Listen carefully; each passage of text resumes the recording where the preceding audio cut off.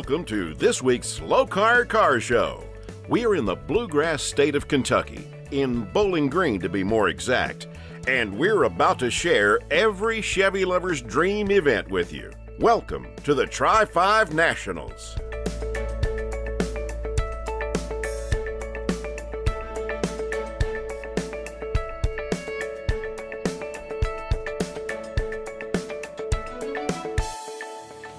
Forty years. That's how long Marvin Mayer has owned his 1957 Bel Air. It was Marvin's first car that he bought when he was only 15 years young. Uh, it's gone through a few stages in its life, but the last time we rebuilt it was in 13. We took, my brother and I worked on it, took it off, frame off, and took our time and put her back together the way we wanted it. It's got a small block 355, pretty basic motor, but it's got an F1 ProCharger running 8 pounds of boost, and at the flywheel when we dynoed it, it was 617. It's got a Jim Meyer front and rear end in it, uh, rack and pinion, tubular A arms, narrow 9, 390 gears, Ridetech Air Ride. It uh, handles really well, stops really good with the Baer brakes, the extreme six piston Baer brakes. So it's, uh, it's, a, it's a good little ride. The paint is uh, obviously pretty custom. It's uh, silverine, we call it, silver and green. It's a uh, based off of uh, Toyota Lexus paint, but uh, it's got a lot of green pearl, a little bit of black pearl, and a ton of metallic in it. And uh, the interior is based off of uh, the exterior. It's got some inserts from the fins and a few other things. It's uh, got a black and jade interior, and all the trim work was done by Stainless Steel Works out of Colorado. And I like polishing, so it's pretty shiny. Um, to be in the top 25 is an honor. The cars, there are so many great cars here that uh, to pick 25 has got to be extremely difficult, and I'm just happy that I was chosen as one of them.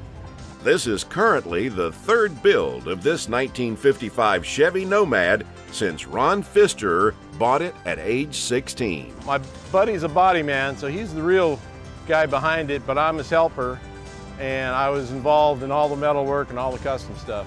Well, owning a Nomad for so long, I've had a few ideas over the years, and I wanted something different, and that's why I did the tailgate the way I did, because I'd never seen it done, and I thought it'd be cool, and I, I think I succeeded. It's a 99 LS1, it's pretty stock, it's got 315 to the wheels, so it, it runs okay. I got about 150 miles on it since I've this, this build. I'll drive it again, but I'm showing it right now. I towed it out here from California, it was a long trip out and I, I wasn't ready to drive it that far. Well, I had, actually this car had a similar paint scheme when I painted it in 75. It was orange with a white roof and I had the same uh, spider webbing panels in the roof back then. But when I took pictures of it, or anybody took pictures of it, you really didn't see the roof. It didn't show up in pictures. So this time on this build, I was just gonna do an orange roof with white panels. And I've told this story all weekend, I'll tell it one more time. We rolled it out of the paint booth and got it in the sun and it, it looked like a circus tent with the white on the orange. It was just too bright, too in your face. So then we started toying with different ideas to tone it down and decided to do the spider webbing again.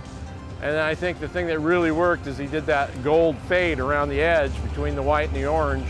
And he just toned it down and made it look the way it does. We'll be right back with more amazing cars on the Lokar Car Show, presented by Original Parts Group.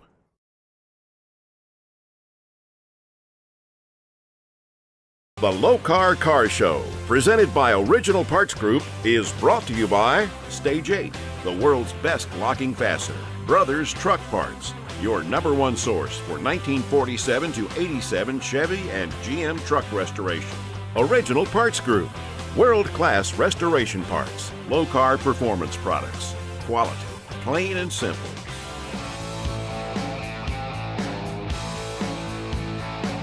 Chris Saunders and I had a sit down at a SEMA event a couple years ago and uh, hatched the idea. It was Chris's idea. He thought the time was right for it, and uh, he wanted to be on board with Danchuk because we're the biggest in the industry, and we wanted to be on board with something as big as this. So uh, it all worked out. Lane Langley fell in love with this exact model car when his uncle bought one brand new. Three years ago, he bought his own 1957 Chevy Bel Air convertible. Well, when I was uh, 13 years old, I, um, uh, my family, of six children in the family, uh, piled in a 1952 Buick. We lived uh, in a suburb outside of Tulsa, Oklahoma, and we drove to uh, Gallup, New Mexico to visit my aunt and uncle. And uh, my uncle had bought a brand new one of these. It happened to be the year of 1957. It was the same color, and uh, I fell in love with that car when I was 13 years old and wanted it all my life. And uh, it took me 57 years to get it, but I finally got this beautiful car three years ago and love every second of it. The body and the uh, interior were done. Uh, it had a different engine, different suspension, uh, different wheels and tires. Uh, so I changed all of that, but it was in this kind of, it looked very similar to this driving around with the top down is, uh, is one of the greatest things you can do. I mean, it's a sense of freedom and uh, of course everyone wants to take pictures and ask you what the car is and, and thumbs up. It's, it brings smiles to people's faces in addition to mine. But uh, it has Tahoe seats uh, and uh, has a uh, Lexus console um, and changed the size of the steering wheel, had a big 17 inch, 18 inch steering wheel, which is makes it hard to get in and out of. And uh, now that it has power steering, it's easy to turn, so we put a smaller steering wheel in it. And uh, so we just made it modern so that it drives down the road nice, it's much safer, has disc brakes all the way around, and stops good, goes fast, but stops fast. It has an LS3 Chevrolet motor, uh, 6 liter with a Magnuson supercharger and a comp cam. Uh, it's about 750 horsepower. So it's just not a pretty face.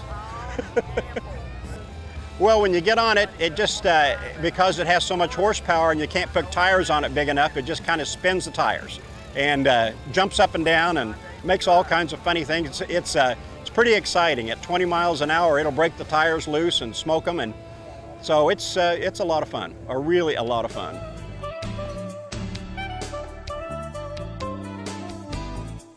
After years of Deborah driving this 1957 Chevy Cameo, the paint began to chip, and it was leading to the pickup being in a million pieces. Her husband Doug started a full restoration, and this is the result. Frame is a TCI frame. Uh, the uh, engine is a Ram Charger or Ramjet 502 Chevrolet crate motor, Tremec four-speed or five-speed transmission.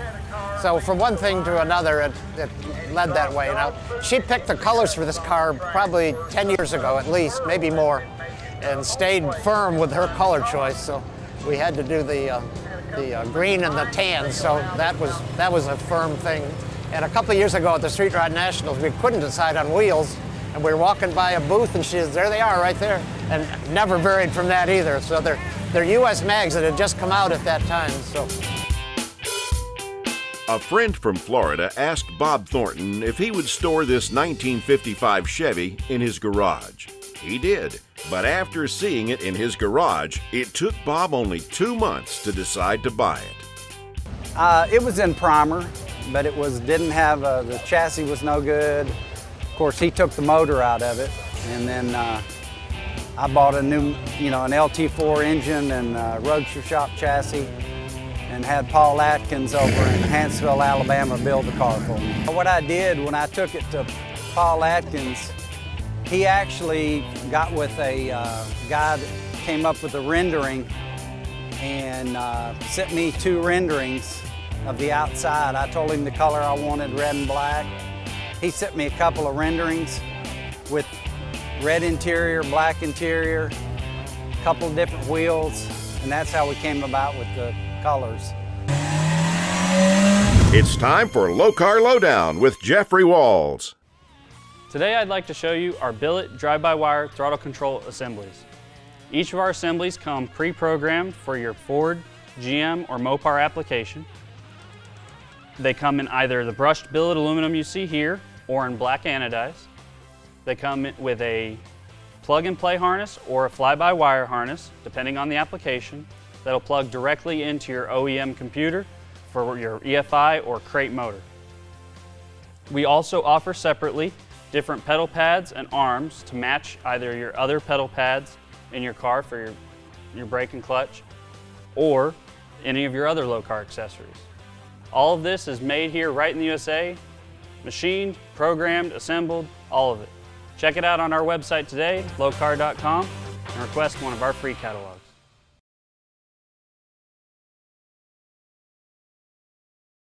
Welcome back to the Lokar Car Show, presented by Original Parts Group.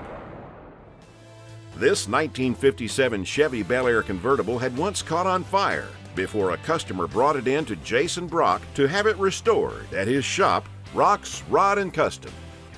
I actually built this for a customer. My shop's name is Rock's Rod and Custom. I'm out of Kansas City, Missouri, and uh, he brought it to me as a, it was actually had been on fire. It was a burn burn job, so uh, we started over with it.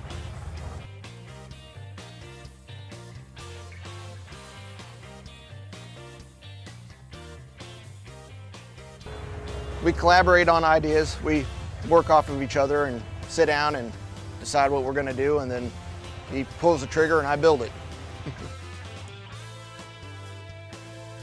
it's a 572 aluminum heads, Hilborn fuel injection. Got a 4L 80E transmission with a gear vendor, 9-inch Ford rear end, uh, Wilwood disc brakes all the way around. It's a roadster shop chassis on coilovers. That's ride height. That's where it sits all the time.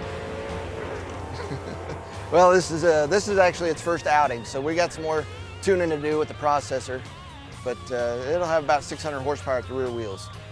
I changed the grille, um, modified the turn signal bar, and uh, added some little trim pieces on the quarter panels. But uh, other than that, the body is fairly stock. You know, the firewall's been cut out and changed for the engine. Transmission tunnel's been cut out, and the uh, rear rear pan's been cut out to clear the suspension with getting it sitting that low. And we wanted to keep it a traditional looking, what would have could have been in a 57. So that's the 57 broquet and the centers.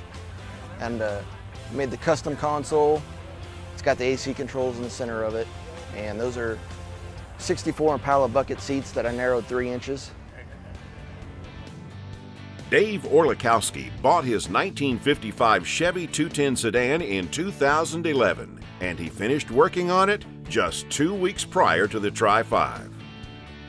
Bought the car and drove it home in 2011, October. And in January of 2012, started tearing it apart and just have worked on it till about two weeks ago. We just kind of finished it up. It's been a long, hard process. Uh, just start at one end and just continue to go and change things as we go to make it better and better. And uh, put an LS1 with uh, 4L60E transmission, kept the stock rear end and modified it, narrowed it up a little bit. New axles, Positrack 370 to go along with the uh, engine and transmission uh, gear ratio and uh, have Ridetech shocks on it. The uh, Wilwood brakes, 13 inch Wilwood brakes all, all the way around disc. The uh, uh, PRC radiator. I did a lot of the mechanical when it first started. And then I, when it came to the body, I took it over to Way Cool Customs in Pittsfield, Illinois. And Reed uh, just did one heck of a job. He did all the body work basically and did the paint and, and all the finish work, trimmings and stuff and assembled the whole car. It has one mile on it. It's just really fresh, like two weeks fresh. So it's kind of out of the trailer and into the show and so we got a few things we need to finish up when I get back home, and then we will uh, probably start driving it a little bit. I've been a Chevrolet guy my whole life. I've really owned nothing but Chevrolets, and I've always wanted a Tri-5, and this 55 came available, and, and here I am today. A dream come true.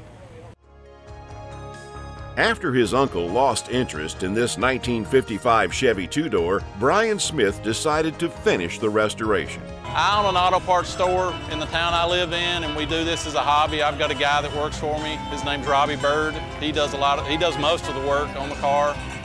Uh, there was another guy that did uh, the rest of the work. His name was Tony Collins. It's got a LS7 out of a 2006 uh, Z06 Corvette. It's got a 4L60E transmission, and it's got a, uh, we changed the cam in the motor. It's got a comp cam in the engine.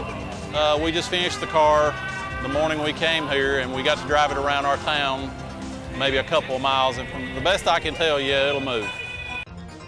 Original Parts Group Restoration Tip.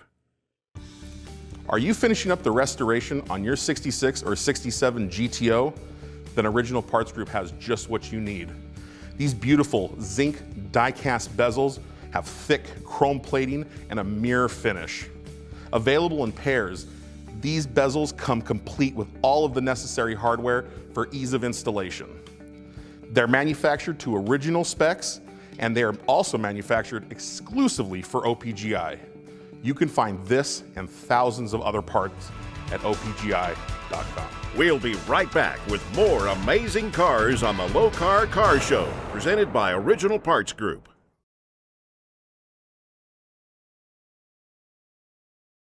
The Lokar Car Show, presented by Original Parts Group, has been brought to you by National Parts Depot. Make your dream happen. Appalachian Tourism. Virginia is for lovers. Croftgate USA, the only car care product you will ever need. Advertising Edge, the official uniform of the NHRA.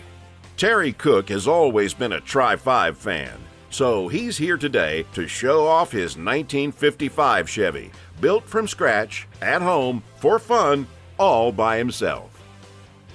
I would recommend anybody doing a rendering, you know, to start with if you're going to try to do a, a real nice car. It, it, gives you something to work with. I like the colors, you know. We kind of knew we wanted to go with them kind of colors, but with that rendering, he uh, he gave you different colors to look at so I can know what shade of green to go. We always knew we was going to go with the charcoal. We love that that urban titanium, but to match that green with that, you know, you go shade up or down and really make it look worse. So, the path designs, he, uh, I got a hold of him. He did the rendering and helped do that, and it was a. I do my own, all my own work except for the interior, and the interior is done by Oz out of Kansas, and so it, it gave me something to start with, you know. I, I, every time I left the shop, I could see the picture of it there and know what I was going to end up with. So that's why it didn't take as long to build because I didn't have to sit there and think, can I do this or that? I knew what I was going to do when I did it, and I just started making and building, building it. So I owe a lot to him on that. One of the speed shop's customers wanted to cross one last build off his bucket list. So he brought in this 1955 Chevy Nomad. Well, we had a really good customer an awesome local guy. We'd done some builds for him before. He always wanted a 55 Nomad. He did pretty much every other build he wanted to do on his bucket list. And this is the one that was left. So we uh, bought this thing out of Arizona and project started from there. We, wanted, we set out to kind of break the mold a little bit.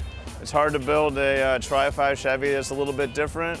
So many great enthusiasts out there and people have been building them for so long. So we chose a, uh, our customer originally wanted a red car, so we kind of worked on them a little bit, made a bunch of renderings, put out a bunch of different material samples and paint samples, and in the end we came up with this, uh, this color combination. So I wanted a, a really luxurious interior, and uh, we work with Relicate leather, and we, we looked at a lot of, uh, we, we had like some speedboats, some old Italian speedboats we were looking at, we had some cigar lounges. We want to create a really cool environment in the in the interior of the car. I think we kind of we hit it off. So imagine imagine driving this down my small town of 7,000 people. Okay, can you just imagine driving that down down the main street of town? People would look at it, and I'm going to do that, man. Look at it. Just can't believe it. Fell in love with it when I saw it in the, the concept of it. Fell in love with it again at the Sloan Center, and, and now I own the car. I can't believe it. Can't believe it. I tell you what, uh, when we started this event in 2015, we had uh, good hopes, but no idea that it would grow to this size. We had 2,717 cars uh, in the show, all 55 through 57 Chevys. And I think the thing that makes this event so special is exclusion. It's not the inclusion of having one of these cars, it's the exclusion of no other cars are allowed to come. And uh, it's, this, it's the recipe, you know, uh, that and the giveaway car. And we couldn't have had a better winner this year. It, it was, it was fantastic. Uh, the giveaway car program definitely draws them in and uh, come back next year in 2018. We've got a very special car planned for next year. And uh, you know, if, if you haven't been to this event, you can't in words describe it. It's, it's fantastic. I hope you come out next year in 2018. Each week, Croftgate USA Car Care Products picks the best of show from the Lokar Car car Show. This week's Best of Show award goes to Matt Martinez and his beautiful 1955 Chevy two-door Bel Air sedan. I owned the car for about three and a half, four years, but it took about two years to build it. It's just a hobby. We do it for fun. It's, you know, like I like cars. I'm a car guy. I've been in the car business since since I was a kid, so it's just kind of what I do. Five and a quarter horse LS2 block with LS3 heads, uh, Tremec T56 transmission. Um, we're trying to get into SEMA, so you know we're trying to keep it off the street a little bit, but it does have a couple two, three hundred miles on it, just trying to work the bugs out and stuff. But yeah, it's uh, it, it'll it'll definitely go. You know, I didn't decide to come down here until last Friday, so you know we found out my son wasn't playing baseball this weekend, so decided to come down last Friday and on the way down here, just so happened to get a room. It all worked out, and here we are. Didn't know what to expect. You know, I really didn't expect to see. I, I, didn't expect it to be this, this kind of a show, this big. You know, you always hear about it, you know, and that it's huge and a lot of cars, but being here, it's night and day different. And we sure didn't come to, to win anything. You know, it's like you said, it's a, it's just something fun for us to do, and it's just icing on the cake. That's all we have time for from the Tri 5 Nationals in Bowling Green, Kentucky, where people came out to see some drag racing and to ooh and ah over some mighty fine Chevys.